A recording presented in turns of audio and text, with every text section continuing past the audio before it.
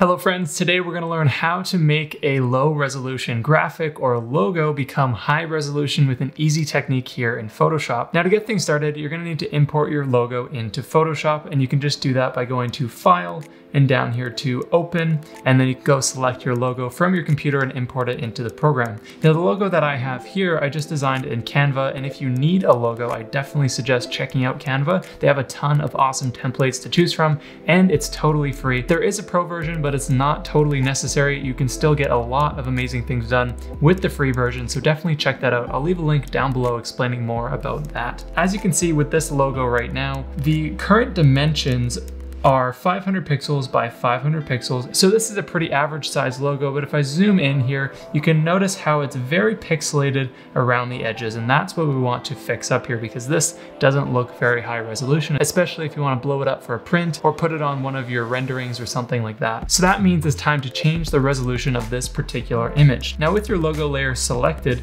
go up to image and then down here to image size. This is gonna bring up a dialog box with a bunch of different options for you, including a resolution option. Now, if you've watched my previous video about how to increase the resolution of images, this actually follows a very similar process, except there is a slight variation in how we do things here.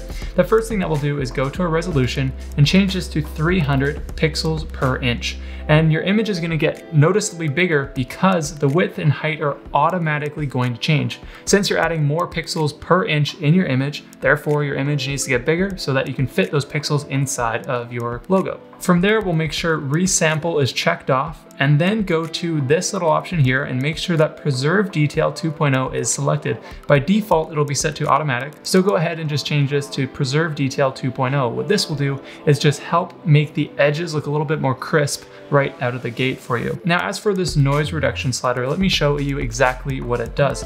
Zooming in onto my logo here, you can see that the edges are actually pretty crisp looking. There's no like jagged edges and things like that. But then if I bring the noise reduction down to zero, you can kind of see faintly how there's a some weird distortion and like discoloration around these edges here.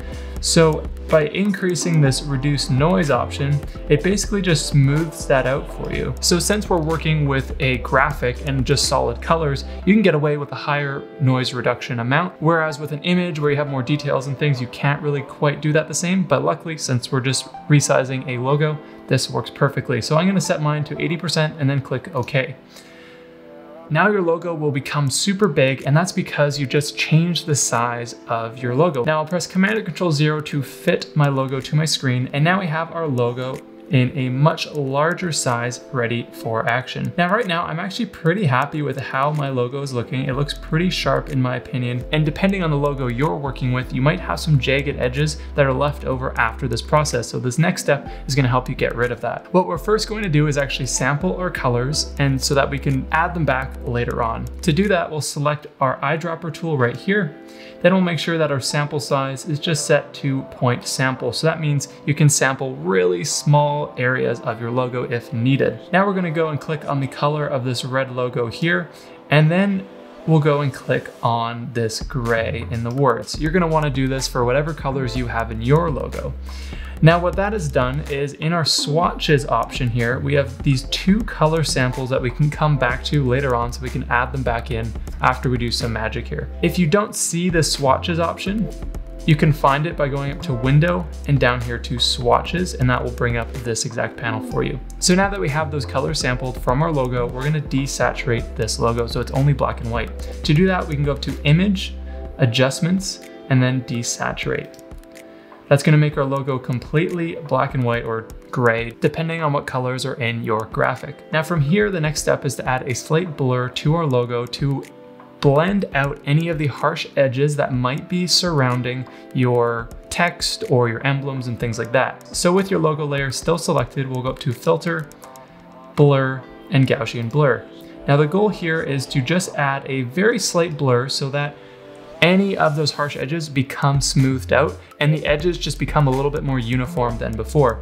In this case, my starting point is actually pretty good, so I'm going to only use a very slight radius in this case, something like 0.9 pixels. It just adds a very slight blur, but still smooths things out nicely so that we'll have a crisp edge in our next step. So once you're happy with that, click OK. Now at this point we have a logo that has blurry edges, so how can we actually make those edges sharp once again? Well luckily with the curves adjustment layer we can actually use contrast to make these edges sharp once again. So clicking here to add a curves adjustment layer, I'm gonna clip it to my logo layer by pressing this, so that way it will only affect my logo layer. This will be more useful to you if you have multiple layers that you're working with. And then now we're gonna go and click on the highlights option right here, the very corner. We're gonna click and drag that over, and then we'll go to the shadows and click and drag that over as well. So we're gonna just continue to play around with this until we have nice sharp edges around our logo. So in this case, I wanna look at the words and make sure that those look nice and sharp. It might take a little bit of refining here, but going back and forth between these two things here, you can see how we start to get a nice crisp edge around our graphic. So right there for me works really nicely. As you can see, everything is super crisp. Our words look great and everything is looking exactly how I was hoping for. So that means I found the sweet spot for my curves adjustment. This might take a little bit of playing around with your logo, but once you get it right, you'll definitely know because everything in your logo will be black and you'll have those nice crisp edges. So with all that complete, we now have a black logo with super crisp edges, might I add. So now that we have a nice crisp logo, we need to go and add back the color. But before we do that, we need to merge our two layers together Otherwise, we're gonna get some distorted colors. So shift clicking between those two layers and then just press Command or Control and E to merge those layers. And now we have everything on a single layer. Now to go add back our color, we're gonna select our paint bucket tool. If you don't see it, it's gonna be under the gradient tool. So if you see the gradient tool, just click and hold and go to the paint bucket tool.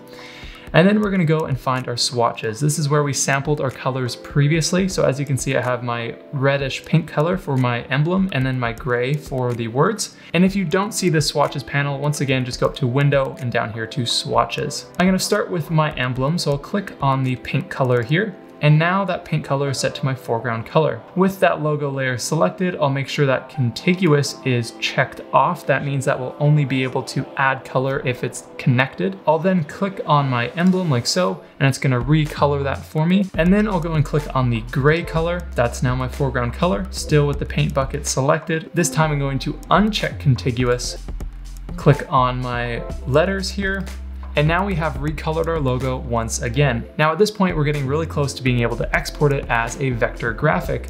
But before we do, if you have a logo that's just like this one where I have a white background attached, I'm gonna quickly show you how to remove that background in no time. With our logo layer selected, we're gonna use something called select color range. By going up to select and then color range, we can now go and pick a color that we want to remove. So you might have something different. Image might look like this, for example, but what you want to do is click on the white background. To make life a little bit easier, you can change your selection preview to none, and then this way you see your logo as is. Clicking on my background to sample that white color, you'll notice that here in my selection preview, my logo is completely black while the background is completely white, and that's exactly what you want to go for here, is making sure that your logo is totally selected, aka black, in this preview here. If you wanna see a larger preview, just change the selection preview down here to grayscale. Then you can see it right here as well. Now before we click OK, go to the fuzziness slider and what this will do is essentially change the tolerance of your selection. So by increasing the fuzziness, it's going to help to smooth out any edges around your selection and do a really nice job just to blend any harsh edges that might be left over from your selection. So in this case, that looks good to me. Since my logo is black, I'm gonna select the invert option, so that way my logo will be what's visible afterwards. And then now I'll go and click OK. Now I have an active selection around my logo. So with my logo layer selected, I'll just add a layer mask that selection will be applied onto that layer mask, and now I have a transparent background from my logo. Now to preserve this transparency, we need to save it as either a PNG file or as a vector. However, I would recommend saving this logo as a vector so then you have a version of it that can be scaled up and down without any quality loss. So I'm gonna show you exactly how to do that. If you wanna learn how to export as PNG, I'll leave a video up in the corner right now. Before we can export this image as a vector, we need to first add a vector mask. To do that, simply hold Command or Control and click on your layer mask to create an active selection around your logo. Next, we're gonna go and select one of our selection tools. In this case, I'll just choose my object selection tool. Doesn't really matter, you can use quick selection tool, marquee tool, anything you want. But the point is, once you have that tool selected, right click inside of your selection and go to make work path. We're then gonna set the tolerance to one pixel and click OK. Now we're gonna have a work path created based off of our selection, and this is what we can use as a vector. With our work path created, I'm gonna go and select my direct selection tool, right click and go down to create vector mask. Now I have a vector mask of my image, so this way I can scale it without losing any quality. With all this complete, it's time to export our image. By going up to File, Save a Copy, we'll then go to our Format options and then set this to Photoshop EPS. I'll just call this to Vector Logo and then click Save. With all these options looking good, click OK. And now we have successfully exported our image. So let's go look at the before and after close up.